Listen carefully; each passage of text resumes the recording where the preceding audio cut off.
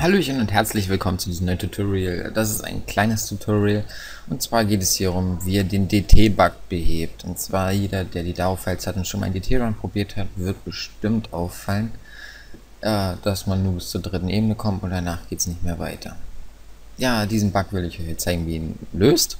Und das ist eigentlich ganz einfach. Euer Surfer muss nur an sein, er muss nicht mehr gestartet sein und ihr braucht Fettzähler. Wie ihr dazu verbindet, habe ich ja bereits ein Video gemacht. Und ihr braucht Devil Tower Zone.quest-Datei. Die Datei bekommt ihr aus dem Anhang. Und zwar geht den da rein, connectet einfach zum Surfer. Ich muss das ja irgendwie wieder ein bisschen anders machen, wenn ihr da rumspackt. Auf jeden Fall, wenn ihr connected habt, dann sollte es auch so, dann geht ihr Game, Quest und dann seid ihr auch schon im Archiv. Und dann zieht ihr die Quest einfach hier rein. Dann überschreibt ihr sie, macht ihr OK, macht hier ein X dann schreibt ihr hier rein M2QC. Dann reloadet er die Quests. Und dann könnt ihr rebooten. Und dann könnt ihr den Server wieder starten. Und dann ist das Problem auch schon gelöst. Dann könnt ihr jetzt einen vollständigen DT-Run machen. So, das war so schon wieder, wie ihr den Server startet, sollt ihr dann selber wissen.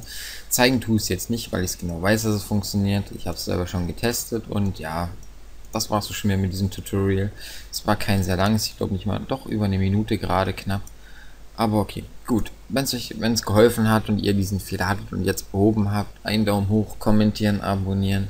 Und ja, bis zum nächsten Tutorial. Ciao.